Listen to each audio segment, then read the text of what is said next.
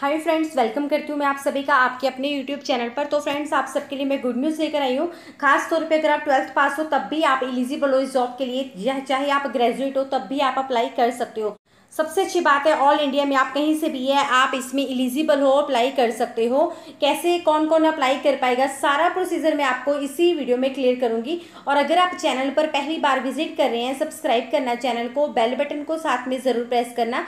इससे आपको फ्री में नोटिफिकेशन आते रहेंगे, जब भी मैं कोई नई जानकारी डालूँगी। चलिए फ्रेंड्स अब डायरेक्ट ऑफिशियल नोटिफिकेशन पे चलते हैं। देख लेते हैं क्या क्या एलिजिबिलिटी यहाँ पे मांगी गई है। कौन कौन किस तरह से यहाँ पे अप्लाई कर पाएगा? और अगर आप किसी भी गवर्नमेंट जॉब की तैयारी कर रहे हैं बेस्ट स्टडी मटेरियल ढूंढ रहे हैं पीडीएफ फॉर्मेट में आपको इस वीडियो के डिस्क्रिप्शन में मिल जाएगा। आप उन पीडीएफ को डाउनलोड कर सकते हैं। बहुत ही ज़्यादा वैल्यूबल बुक्स हैं। आपके बहुत ही ज़्यादा काम आने वाली है। अभी एफ़ सी का एग्ज़ाम हुआ है फ़ूड कॉरपोरेशन ऑफ़ इंडिया का।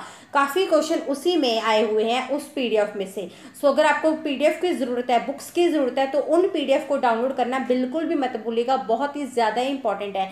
चलिए ऑफिशियल नोटिफिकेशन पे चलते हैं। बात कर लेते हैं एलिजिबिलिटी की। सबसे पहले बात करेंगे इंपॉर्टेंट डेट्स की।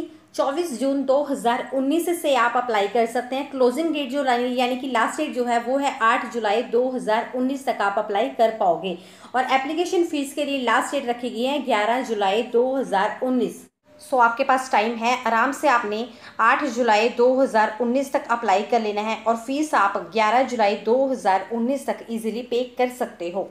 और सबसे इंपॉर्टेंट बात यहाँ पे ये इन्होंने यहाँ पे आईडी प्रूफ में यानी कि अपनी फोटोग्राफ के साथ आपको सेल्फ अटेस्टेड जो डॉक्यूमेंट है चाहे आपके पास आई कार्ड हो आइडेंटिटी कार्ड हो यानी कि आपका आधार कार्ड हो गया वोटर कार्ड उनमें से कुछ हो ठीक है? ड्राइविंग लाइसेंस हो चाहे चाहे पासपोर्ट हो वोटर कार्ड पैन कार्ड ठीक है? सो so, मतलब फोटोग्राफ के साथ इनमें से कोई भी आपको आईडी प्रूफ साथ में चाहिए इनमें से कोई भी आपके पास हो। टोटल देखिए, जो वैकेंसीज निकली है क्लर्क की पोस्ट है, ठीक है, मैंने बाहर मेंशन भी कर रखा है थंबनेल में। क्लर्क की वैकेंसीज है, आपके पास बहुत ही अच्छा मौका है, अगर आप ट्वेल्थ पास हो खास तौर पे तब।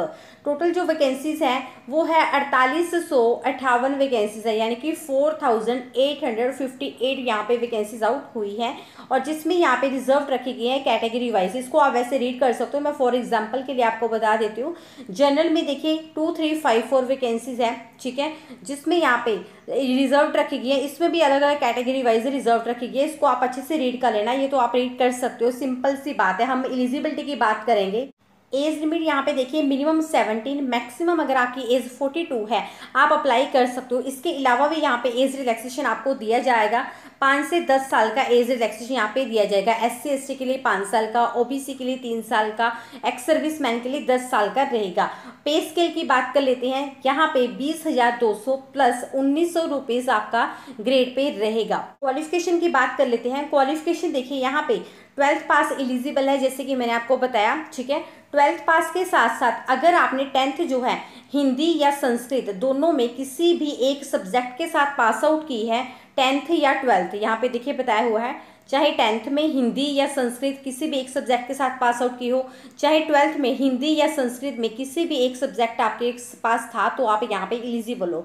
उसी के साथ यहाँ पे ट्वेल्थ अगर आपने फ़र्स्ट डिवीज़न के साथ पास आउट की है, यानी कि सिक्सटी परसेंट से ज़्यादा अगर आपके मार्क्स हैं, आप अप्लाई कर सकते हो।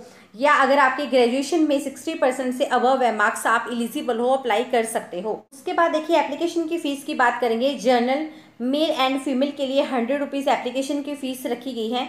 मतलब male and female. All India में कहीं से भी बिलोंग करते हैं, आपके लिए एप्लीकेशन की फ़ीस हंड्रेड यहाँ पे रखी गई है, ठीक है?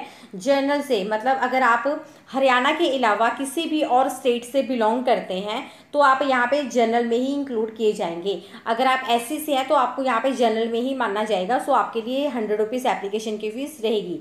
और जो फीमेल हरियाणा रेजिडेंट की है जनरल कैटेगरी से, उनके लिए फिफ्टी रुपीज़ एप्लीकेशन की फ़ीस रहेगी।